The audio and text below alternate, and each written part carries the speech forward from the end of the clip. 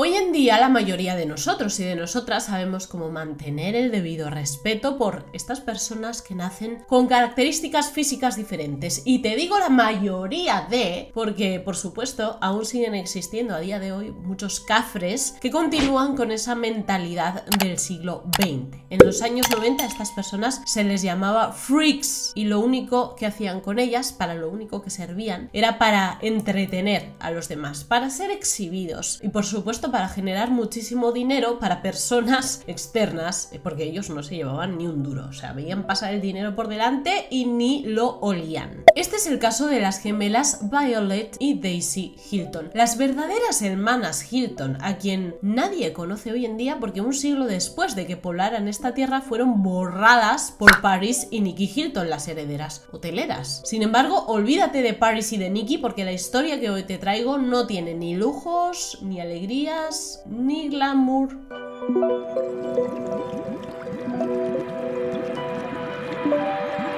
¿Qué tal, mis curiositos? Sin censura. Sabéis que hemos tratado varios temas sobre freaks o sobre personas físicamente diferentes en este canal y os han encantado absolutamente todos. Así que hoy os traigo otra entrega más de freaks. Vamos a conocer a Daisy y a Violet Hilton, que nacieron de una madre bastante pobre y además soltera llamada Kate Skinner. Ella se había quedado embarazada a los 21 años de su jefe. El jefe era el hijo de una familia muy adinerada para la que ella trabajaba y sabía que lo que estaba haciendo estaba muy mal. Sin embargo, debía estar bien bueno el jefe porque no se pudo contener y se terminó acostando con él. Ella era plenamente consciente de que lo que estaba haciendo era un super pecado a los ojos de Dios, así que cuando semanas después se enteró de que estaba embarazada, lo calificó como un castigo divino por lo que había hecho tienes que darte cuenta de que en la época, en los años 90, en Sussex, Inglaterra, acostarse con un hombre sin estar casada con él era un absoluto pecado, era lo peor que podías hacer en este mundo. Fue el año 1908 cuando las siamesas nacieron y fueron consideradas como monstruos, como aberraciones. Los gemelos en esta época en Inglaterra se consideraban como tal, eran como castigos que te había enviado el cielo porque habías hecho algo malo.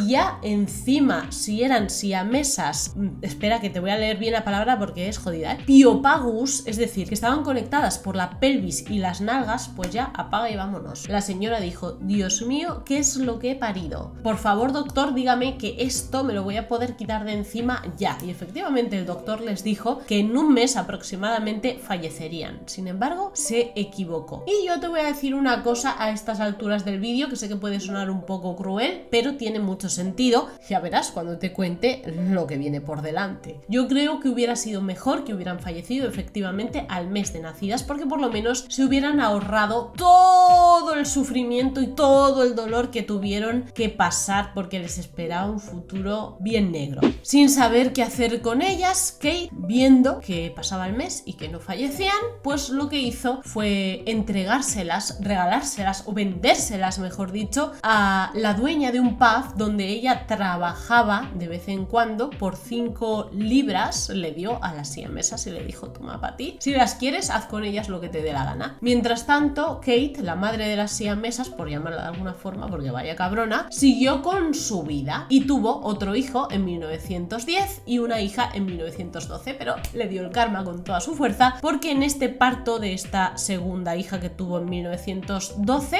falleció a los 25 años por complicaciones y dejó a todos los niños huérfanos Mira, mejor, porque con una madre como esta, mejor estáis así. ¿Cómo obtuvieron el apellido Hilton? Entonces, las siamesas, pues lo tomaron de esta señora a quien su mamá las vendió. Mary Hilton se llamaba la dueña de este pub y vio en las siamesas la oportunidad perfecta de hacerse rica. ¿Cómo lo hizo? Pues exhibiéndolas en la parte trasera de su pub en un espectáculo que ella misma se inventó, que no tenía absolutamente nada de espectáculo, simplemente era que pasaba algunos clientes para la parte trasera y les decía, si me dais dos centavos, le podéis levantar el vestido a las bebés y daros cuenta de que efectivamente han nacido unidas, porque la gente no se lo creía, ¿sabes? Lo escuchaban y no, no, no, yo tengo que ver para creer. Bueno, pues por dos centavos podían efectivamente verlo para creerlo. Pero la señora Mary Hilton no solo estaba ganando dinero con las siamesas, también estaba haciendo otro tipo de cosas, porque ella, como buena dueña de un pub de la época, pues no sentaba cabeza con ningún hombre. Era una mujer bien independiente. A ella le gustaba saltar de tipo en tipo y esto hubiera estado muy bien si se hubiera limitado a ella. El problema es que se los llevaba a casa y cuando se los llevaba a casa, pues cada uno de esos tipos que entraba en la casa, pues hacía lo que le daba la gana con las siamesas y para colmo, para más INRI, la señora Mary Hilton participaba en muchos de estos actos.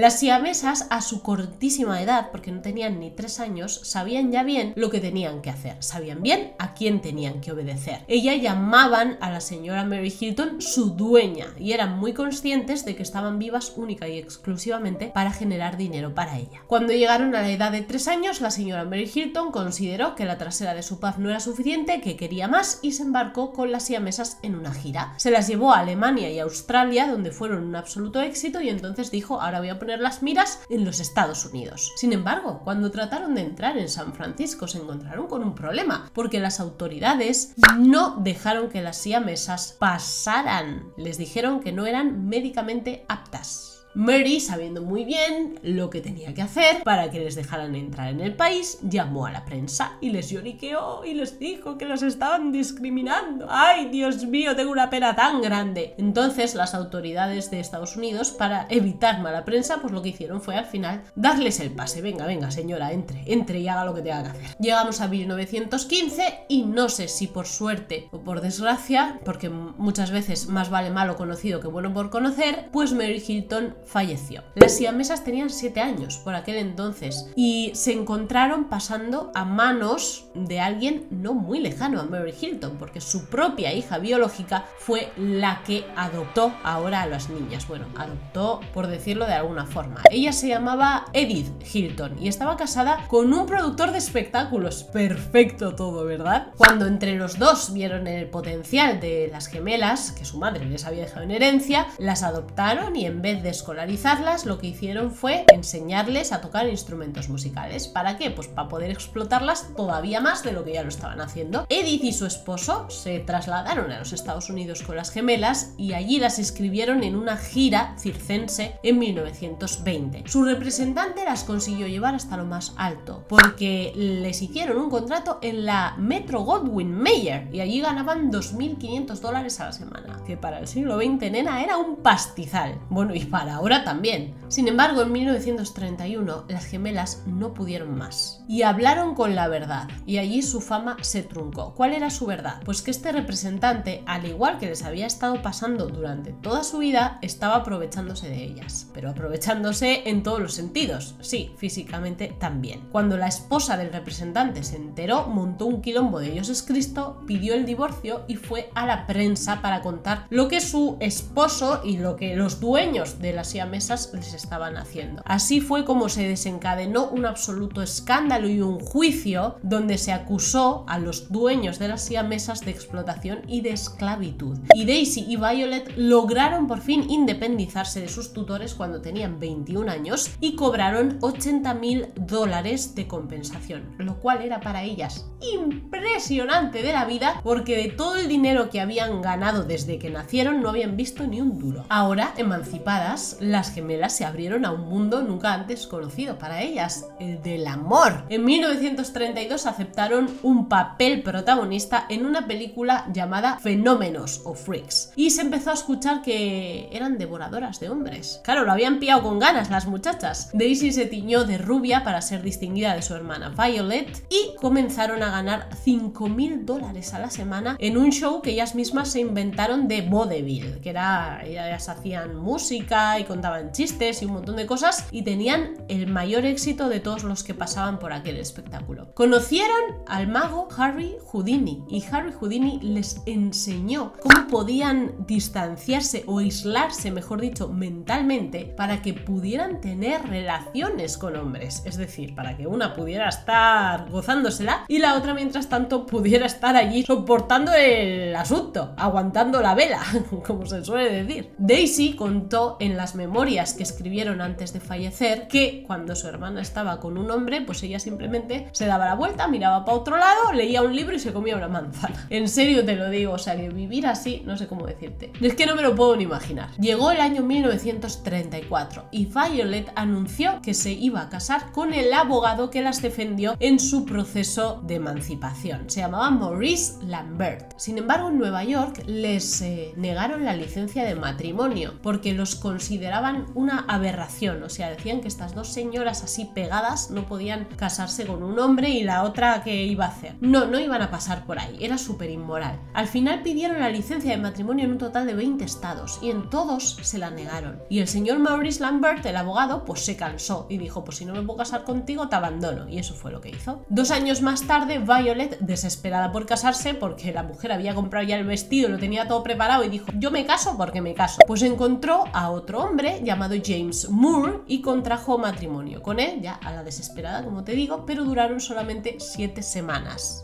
Obviamente, si te casas a la desesperada, el resultado no va a ser bueno. Daisy, por su parte, no corrió tampoco buena suerte. De hecho, corrió peor suerte que su hermana, porque en 1941 se casó enamoradísima de un bailarín llamado Body Sawyer, pero su matrimonio duró menos que el de Kim Kardashian con Chris Humphries, nena. Solamente 10 días al loro. Llegó finales de 1940 y el público empezó a perder el interés en las siamesas y sus ahorros se fueron al carajo. Fue entonces cuando pensaron en probar suerte en otro tipo de negocios y dijeron vamos a montar un puesto de hot dogs, de perritos calientes y le vamos a llamar las siamesas Hilton. Les iba muy bien, nena, porque los clientes iban allí, las veían trabajando detrás del mostrador, se llevaban una foto de recuerdo o simplemente el hecho de conocerlas, ¡ah, qué increíble! Y se llevaban el hot dog y todo el mundo contento. Pero los vendedores ambulantes de la zona no estaban nada contentos porque se dieron cuenta de que, claro, ellas se habían convertido en el espectáculo y que todo el mundo iba a comprarles a ellas porque querían verlas y empezaron a acosarlas. Al final tuvieron que cerrar su negocio por mucho éxito que estaban teniendo porque no podían soportar todo lo que les estaban haciendo el resto de vendedores. ¡Qué capullos! Pues inventaros vosotros algo también. Es que esto de la libre competencia, macho, que mal lo lleva la gente. Llegó el año 1952 y Hollywood llegó al rescate de las siamesas. Les ofreció crear una película titulada Encadenadas de por vida. Pero qué mala suerte, curiosita, la peli fue un absoluto desastre en taquilla. No recaudó prácticamente